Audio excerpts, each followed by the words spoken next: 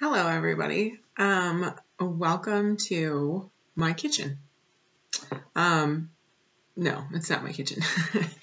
this is actually um, my studio space. Um, it's in our guest room and it has beautiful light streaming in and it's a little bit brighter in here. And um, so I thought that I would bring my kitchen to my studio um, because I was look I was in the mood for something nice. Um, I've had to work um, in our plant nursery for the past four days, and it's always um, after you know being essential for a certain number of days. Um, it's a lot of stress, and so it's nice to be home. Uh, I know that's a little bit different um, than what most of you are going through right now, um, but also very similar to what some of you or most of you are going through right now. I know we're all having our own um, little bits and pieces in the ways that we're dealing. Um, and so I woke up this morning and, you know, I had my um, hot, hot coffee um, with Jeremy in the office. Um, we drank, um, I, I want, well, I want to show you uh, my very favorite coffee drink. So, like I said, really on the regular when I wake up in the morning, um, at least mm, uh, mostly during like winter, fall, and then into spring. Um, I drink, you know, hot coffee in the morning. Once it gets to summer, um, it's really hot outside, and I really love iced coffee. Always have loved iced coffee.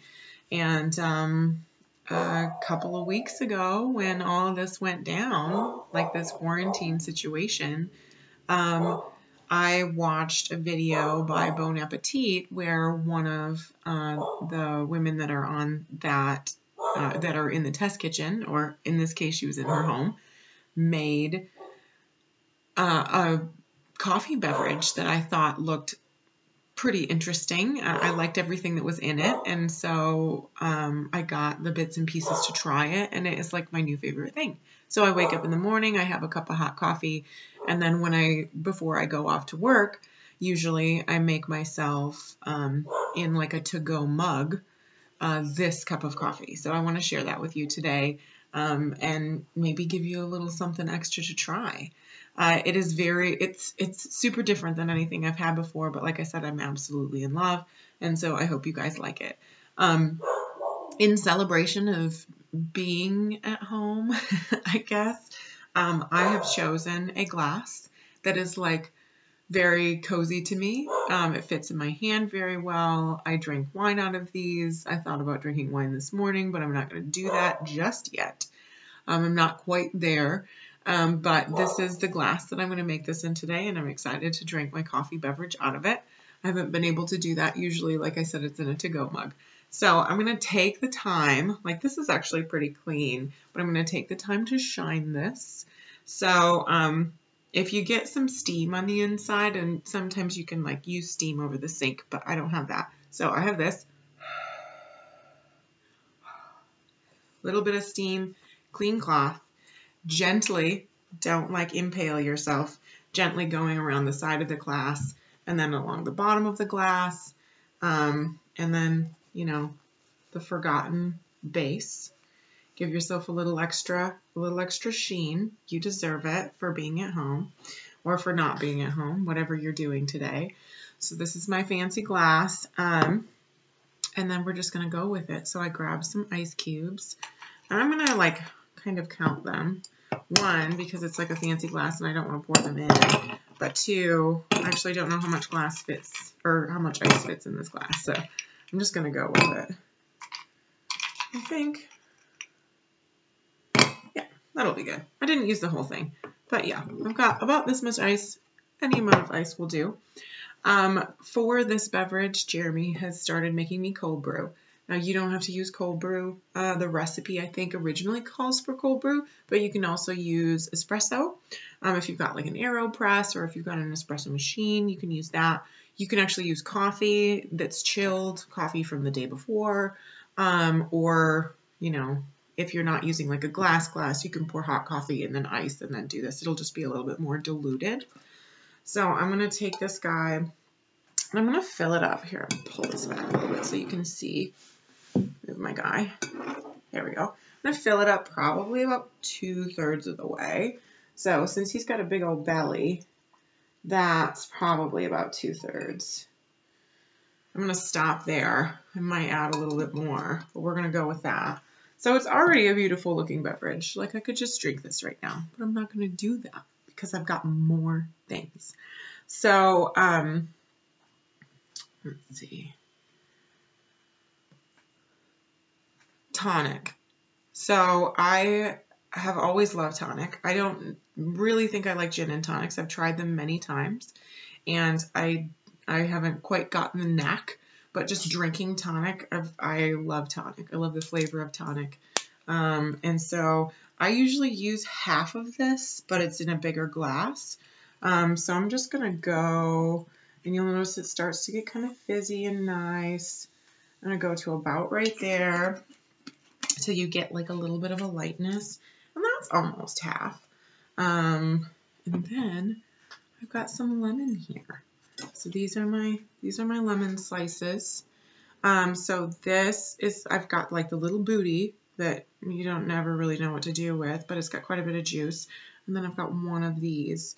Um, and so that's about a third of a lemon, something like that. So I'm going to squeeze in this lemon, give it some juice. Good amount of lemon there. Just give it a, a little little chink chink. And then I'm going to take this and kind of twist it a little bit so it takes a shape. So I've got it twisted and then I'm just going to stick it right down in there. Little purdy, you know?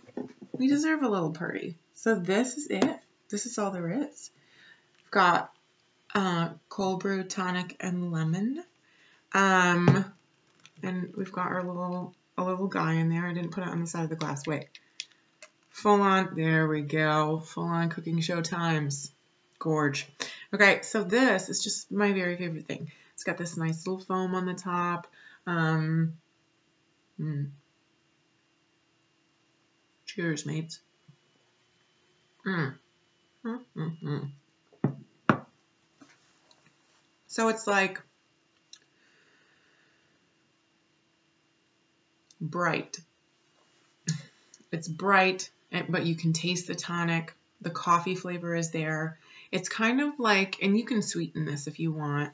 Um, there's sweetener in the tonic. If you don't like tonic, um, Molly says that you can use uh, club soda and then like sweeten it a little bit so that you don't get the quinine flavor, but you get the, you still get the bubbles and the and a little bit of like a sweetness to it.